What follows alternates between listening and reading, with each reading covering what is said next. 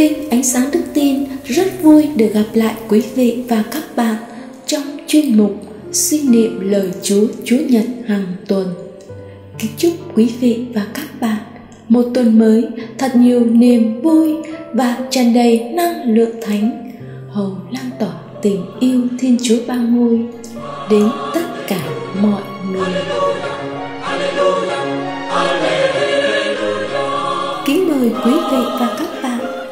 Nghe tin mừng Chúa Nhật, ngày 30 tháng 6 năm 2024.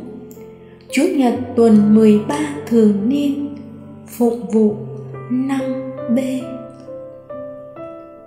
Tin mừng Chúa Giêsu Kitô theo Thánh Marco. Khi Đức Giêsu đã lên đò quá giang về lại bên kia, thì dân chúng đông đảo hội lại bên Ngài và Ngài ở lại bên mé biển và một viên trưởng hội đường tên là Sairo đi đến. Thấy Ngài, ông sấp mình dưới chân Ngài và nài nẵng van xin Ngài rằng Con bé nhà tôi đã gần lâm chung, xin Ngài đến đặt tay cho nó, cứu nó, cho nó sống. Ngài đã ra đi làm một với ông, có đông dân chúng theo Ngài và người ta chen cả vào Ngài.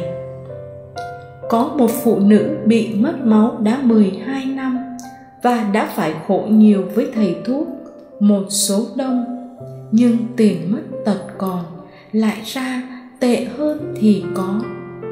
Nghe đồn về Đức Giêsu, bà đến đằng sau trong đám đông, rờ áo choàng của Ngài, vì bà nói: Dẫu tôi chỉ rờ được áo choàng của Ngài, tôi cũng sẽ được cứu chữa.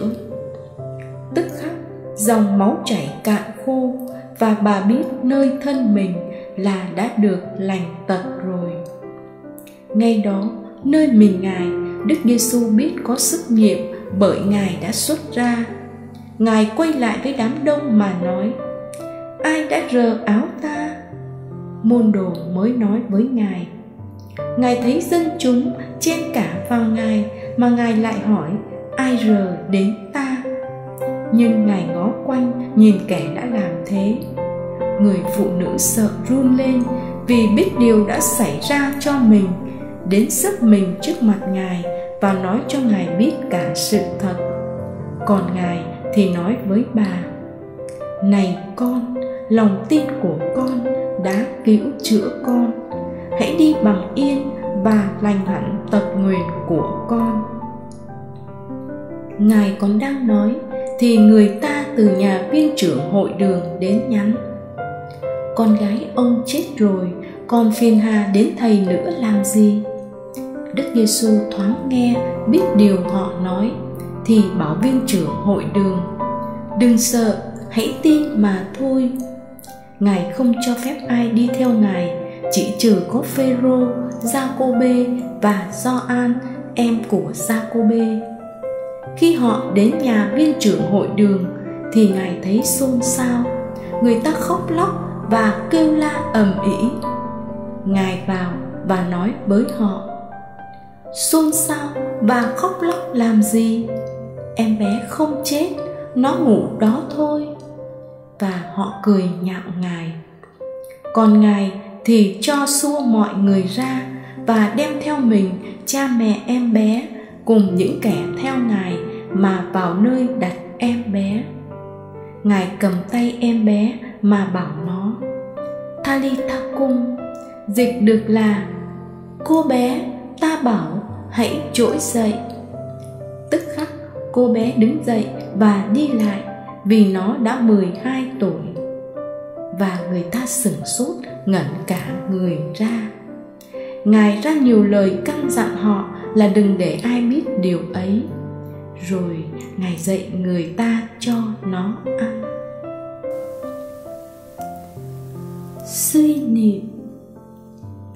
Cả hai dấu lạ trong trình thuật tin mừng hôm nay được thực hiện nhờ lòng tin được thể hiện trước đó người cha tin tưởng chạy đến van xin cứu giúp đứa con gái sắp chết.